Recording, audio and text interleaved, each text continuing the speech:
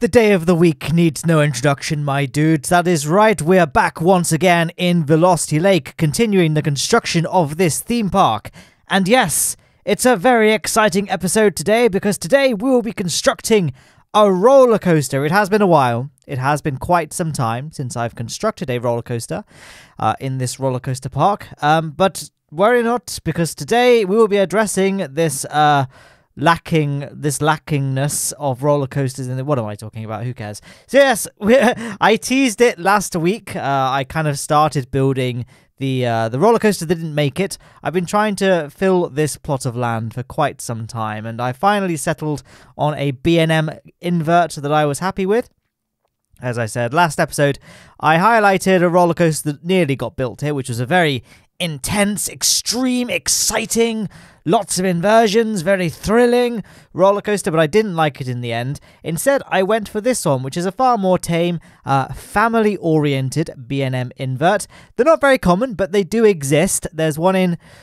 Whoo, now I'm really testing my knowledge. I think it's Shanghai's theme park. Is it just called Shanghai Park. I, I don't know what it's called, but I'm pretty sure there's a B&M invert designed for families in Shanghai. This one's a little bit more exciting than that. That this one does have some fairly big drops that go all the way from the top of the lift hill down to the ground. A lot of family coasters don't have drops that substantial, or at least the lift hill isn't quite so high. So it's very, it's really there, it's really here to bridge the gap, much like the Intamin Mega-Lite found on this park's central island. This is like a somewhat good introduction to get sort of youngsters into the idea of going on bigger and better roller coasters. Although that being said, I don't know if better is necessarily the best word here because this, and I said this before in previous episodes, this is quickly becoming one of my favorite roller coasters you know, in the whole park.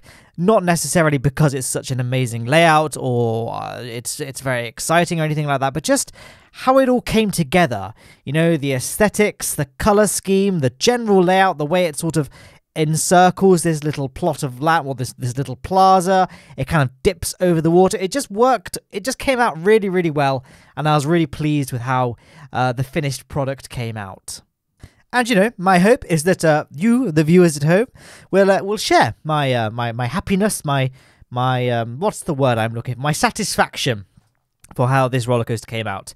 Uh, this isn't actually the, ulti- the, the the color scheme we'll be going with in the end. This orange is just the default color uh, that this ride comes in. I'm not a big fan of the orange myself, but don't worry, that will change. One of the things I uh, like doing in I, I, was about to say Planet Coaster, but I did this in Roller Coaster Tycoon 3 and Roller Coaster Tycoon 2 and uh, in Parkitect as well. I have played that game.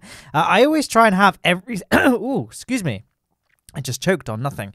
I, I I like to have every roller coaster be a different color, uh, just out of some weird uh, gaming OCD uh, sort of thing. Like uh, I, I just like having a distinctive color for each ride. I'm just now trying to think if that is actually true for this park. I guess there are two yellow coasters to be fair, but one is gold and one is bright yellow, so I, am happy to count them as two different colors. Uh, oh, actually, never mind because we have two. Oh no, no, no! I was gonna say, is it purple the RMC? But I think I'd say the RMC is blue. I know the track is definitely blue, but the supports are purple. But I'd say the track color itself is uh, blue. I'm just pondering the RMC because the ultimate color scheme I'll be going for this ride in particular will be a nice purple track. Uh, and again, much like the Shanghai uh, family invert, that's a blue color, like a dark blue color, which is fairly close in the spectrum to indigo. So uh, that's uh, that's what I have to say about that. And it's a shorter episode. Uh, I did say uh, I, over the past few weeks we've been building the warehouse district for Velocity Lake, and the episode lengths have been fairly short. Like I don't think any of them were more than 20 minutes, and if they were, they were very close to the 20 minute mark. Uh, whereas in the past, I've done lots of like I've done a couple of episodes that have been like 40 minutes long.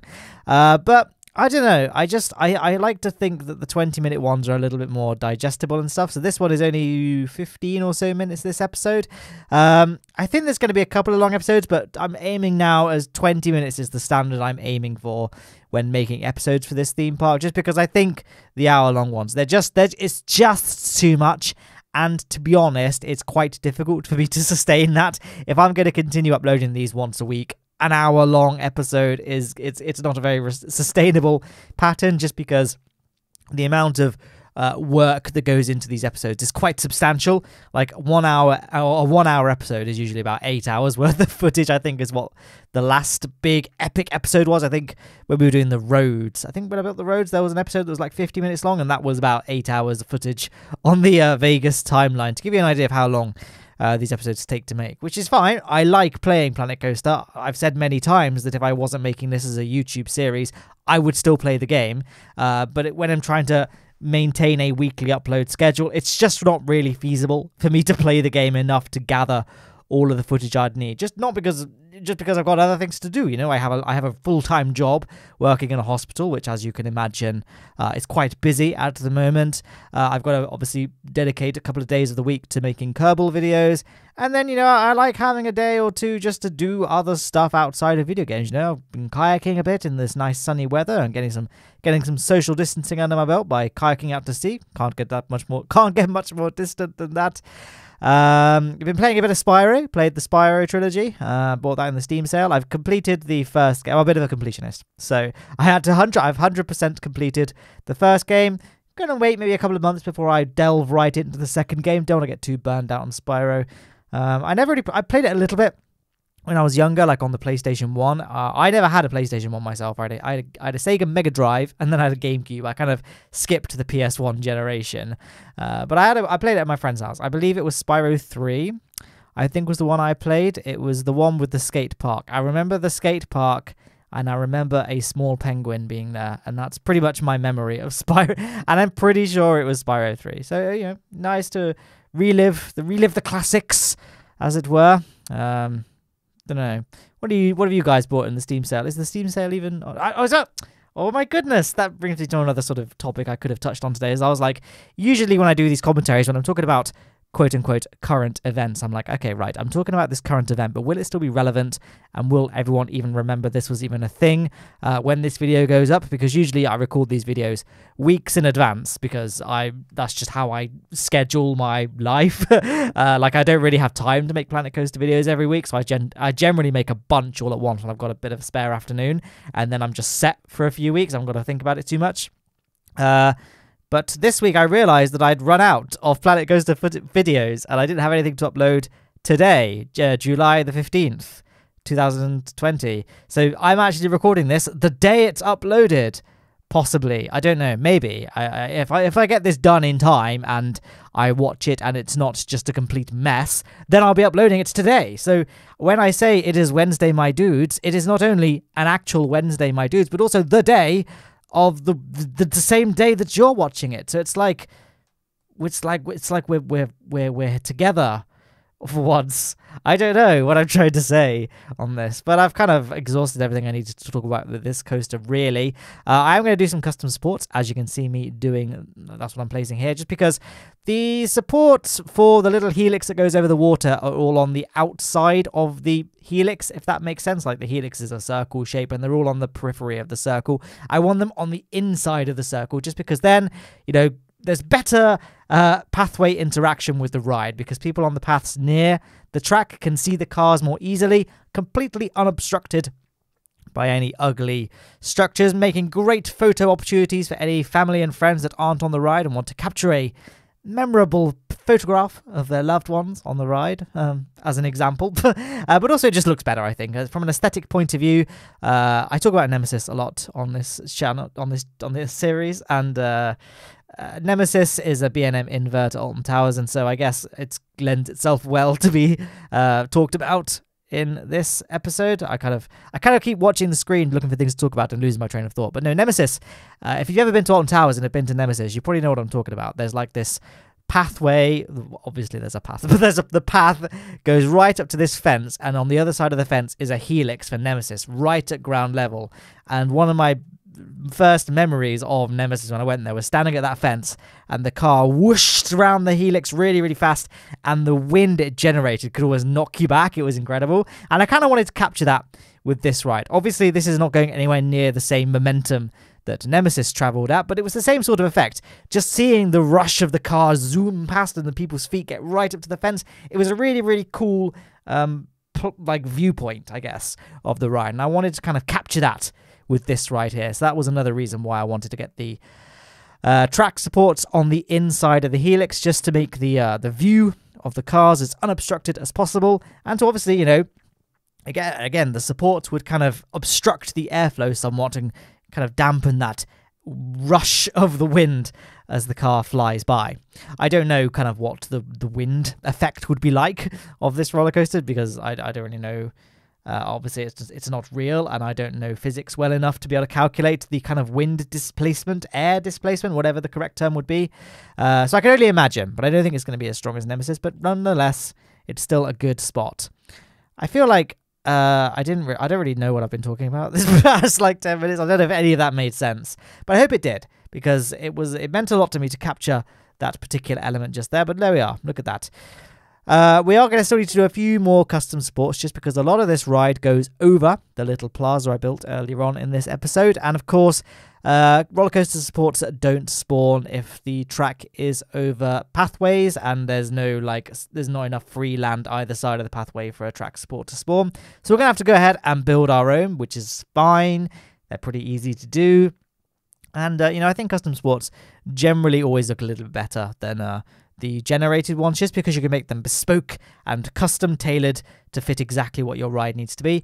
Obviously, we haven't got all of the parts that the spawnable ones have. Uh, for this ride type, I guess we do, but for other rides, it's very hard to make custom sports that look like the ones that spawn, but you can get pretty close. And for this ride, it's not a big problem. And I've got those those two little custom towers there, which is the really, really thick towers that kind of have lots of arms supporting one section of track, which I think it's been a while now since I built this ride, but I'm pretty sure that's what the B&M family B&M family invert in Shanghai has. Uh, was those like one big tower support that supports like a, a whole helix. If that makes sense, I don't even know if it does. I might have just made this up, but it's a bit of a Mandela effect going on. And to be honest, I'm still not 100% confident that this ride even is in Shanghai. Like, I don't want to say this ride because this ride doesn't look anything like the B&M family family inverts that exist. I really should slow down when talking. Uh, but uh, I'm not even sure if there is an existing family B&M family invert in Shanghai. Uh, is there even a theme park in Shanghai? I'm pretty sure there is. Uh, gosh, it's uh, I'm very, I'm very, I don't really know what I'm talking about. Um, what is there to talk about on screen? moving, moving on. My goodness. Uh, here we are placing some concrete because this part of the ride goes underneath, goes below ground level basically. And I didn't really want just bare like a like a, just a ditch because that looks a bit unrealistic and also might not be that safe if it rains and the land is not stable. So I thought best just encase this little dip in a nice concrete channel, which is obviously the more realistic approach. Any roller coaster in real life that dives below ground level will pretty much adopt a system like this. For example, I don't know, pick any. Uh, Fury 325 dives below ground level at one point and it goes into a concrete channel. Uh, Oblivion, a lot of dive coasters, in fact, do go into concrete channels. The list goes on, and it's not really a list that needs uh, going through to make this commentary any better, so I'm not going to, but that's what I'm doing here. Just putting this little concrete channel. We're going to just try and bring the terrain right up to the edge wall of that concrete channel. Obviously, can't get it perfect. The ground will always uh, be slightly above the concrete. That's just a quirk of how Planet Coaster's terraining works, but I think it still looks pretty realistic regardless. I've left that little cutout there, just there on the left hand side. That's going to be the access point. If for whatever reason the train valleys in that dip, I, I it probably wouldn't, but just in case on the off chance it does, uh, guests can be rescued. I'm going to put a little ladder. Uh, an access point inside that little cutout. For those that don't know what a valley is, it's when a train goes down a hill and then a roller coaster train, I guess, if we're going to be specific, although I'd assumed the context of this video would make that clear. But regardless, a roller coaster train goes down a hill, and then at the base of the hill, it then starts ascending up the next hill, but it doesn't make it.